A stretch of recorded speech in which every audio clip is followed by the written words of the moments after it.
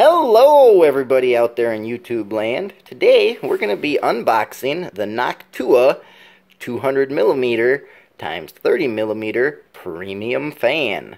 This one is power management, so it's a four cable fan. Apparently the kitties want to be in the video. So award-winning Noctua quality in 20 centimeter size.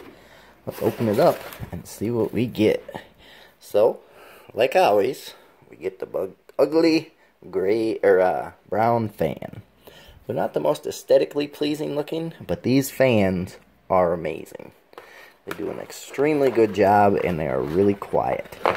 So, up here, you get the instruction book and installation guide and everything that it tells you about the cables and stuff that it gives. It does come with some rubber mounts that you slip in instead of screws, so that'll help with the noise.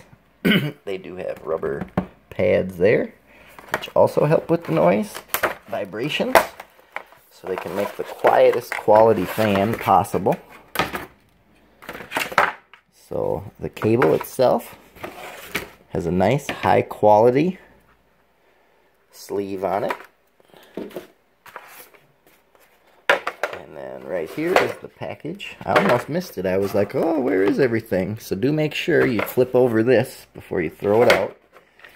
There's the package with all the extra cables that they include, I believe, and the mounting hardware.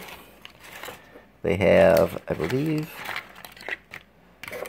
a 6-inch extension cable, a Y-splitter, and then one that will a low noise adapter that will lower the max RPMs to, let me see here.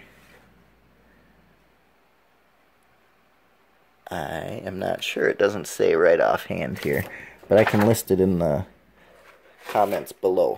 So, that's everything that came with the Noctua 200 millimeter or 20 centimeter fan for your computer I hope this helped you out if you wanted to know what all came in the box before you bought it.